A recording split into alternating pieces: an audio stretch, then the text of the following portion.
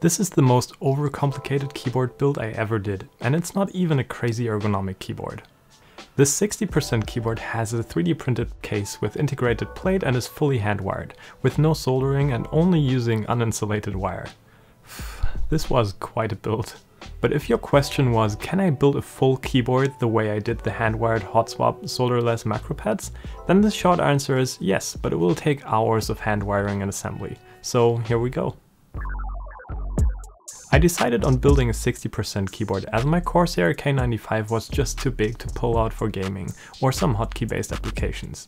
And as I am just normally using an ergonomic keyboard with Colemak DH, having a separate keyboard with QWERTY makes things a lot simpler. Like other people being able to use your PC. The case was designed in about an hour in Fusion 360 and is clearly inspired by the KBD Fans 5 degree. Just that this board only has 2.5 degrees of tilt as that tilt does hurt my wrists, but that might just be me.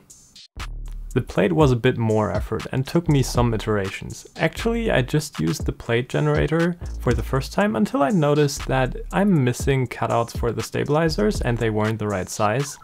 So then I needed to update them all over again. And very important, and I can't stress this enough, the plate can only be 1.5 millimeters thick.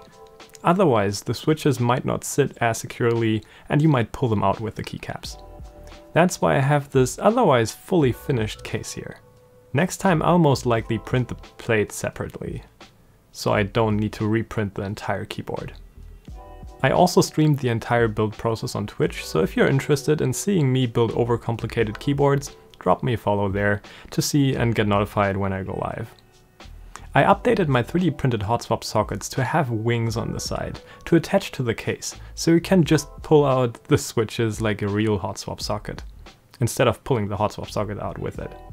Though to make things a bit easier I removed the clip functionality and switched to a very simple wire bending method, to reduce the points of possible failure in the board. As with these many switches, I might have a hard time making every switch very reliable.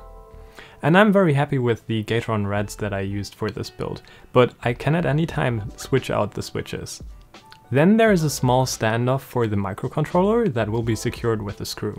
This was my favorite part about this board, as now the microcontroller sits very securely in there and can be removed without any glue or relying on an outer case that clicks it in. The case is 3D printed in four parts. These took about 14 hours to print and were then glued together with simple superglue. After some sanding and filling it with wood fill, I then spray painted it with the matching yellow for the keycap set that I ordered, which is the Akko yellow and purple set, inspired by the LA Lakers colors. I really liked the set, but it was also the only yellow set that looked quite decent and was in stock. Now comes the fun part of printing the hot swap sockets and wiring up the entire switch plate. Each switch gets its own hot swap socket, and then the row and columns get connected together. As I'm just using not insulated silver plated copper wire, I just twisted the ends together and depending on how much space there is, I also bent the diodes just from one diode to the next. All of these wires were very nice to form into shapes. But you really need to make sure that none of the wires touches another wire. This can be some effort in some spaces as it's quite tight around the microcontroller. Interestingly enough, it held up quite nice until now. I have used this board about a month and there were no shorts at all. This wiring, though, did take about a week's worth of evenings with fine adjustments on each switch and the hot swap sockets to make sure everything is connected securely. Then I built a simple firmware with VIAL support for it. I just cloned the keyboard folder of the 3x2, the 3D printed macropad, but I switched to the WSL2 installation, as this is working a lot faster, and I can recommend this to anyone trying to build QMK on Windows. Then it's just setting up new pins and a new key map for the keyboard. Most of the effort was typing out the VIAL JSON config in the keyboard layout editor. With the super simple 3D printed and cardboard backplate, everything is now done. Yeah, I kinda skipped the backplate part, but I have this super nice Keebmat that is basically living under the keyboard forever now, so I'm not even sure if I'm using a bottom plate for it at all. Too bad I can't touch type on QWERTY yet. That's still something I'm working on now that I switched to Colemak DH on my Ergo boards. You can find more about this in my last video. But I'm currently working on switching seamlessly between Colemak DH and QWERTY. And this works quite fine. Also, after using it for some weeks, it still types flawlessly without even having anything soldered on it or even insulated. I love also the compact form factor of this board and you can download all the files for this build in the description below. So I'm overall very happy with how this turned out. Maybe I'll try to build a 65% version of this one in the future, because I might be interested in some arrow keys.